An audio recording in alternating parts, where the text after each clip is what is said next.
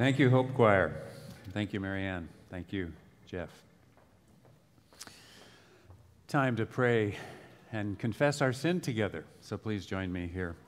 I'll give word to that and provide some silence for you.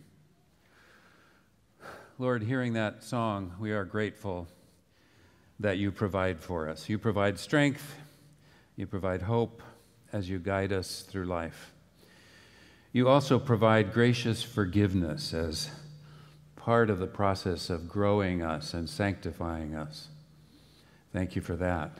We turn to you now for that forgiveness, cleansing our hearts and our consciences as we prepare for the Lord's Supper before us.